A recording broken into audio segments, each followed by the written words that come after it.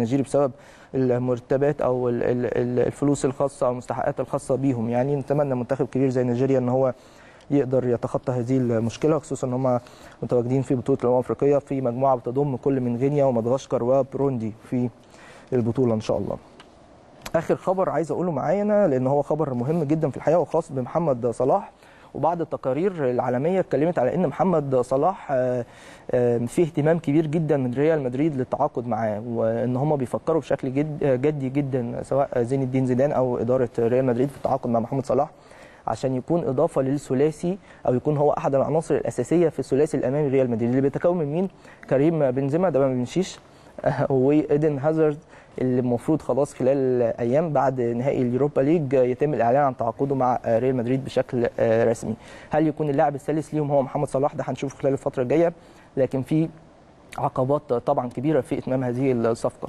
وبتتمثل في إيه؟ في تمسك مستر يورجن كلوب طبعا المدير الفني الكبير جدا الألماني لفريق ليفربول بمحمد صلاح وتمسك ملاك النادي بهذا اللاعب ومش مطروح خالص إن هم يفرطوا فيه. العقبة الثانية إن صعب شوية إن ريال مدريد مش عارف هي صعب ليه بس هو الناس كلها بتتكلم في كده. صعب إن ريال مدريد تتعاقد مع اثنين بمبالغ لاعبين زي محمد صلاح وايدن هازارد في موسم واحد. بيقولوا إن صعب إن كل المبالغ دي يتم انفاقها في موسم واحد فبالتالي الفرص ممكن تكون قليلة شوية لتعاقد ريال مدريد مع محمد صلاح. لكن هو في الصورة بشكل كبير جدا عند زين الدين زيدان بيسعى شكل بشكل كبير جدا للتعاقد معاه وإكمال الثلاثي الهجومي اللي أكيد هيكون قوي جدا من خلال كريم بنزيما وفي حالة التعاقد مع إيدن هازارد اللي خلاص قاب قوسين أو أدنى من انضمام ريال مدريد وفي حالة كمان انضمام محمد صلاح.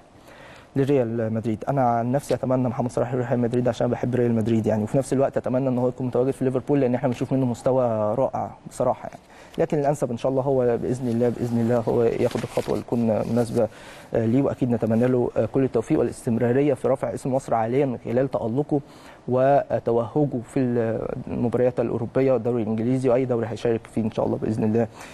بالنسبة لمحمد صلاح دي كانت أهم الأخبار.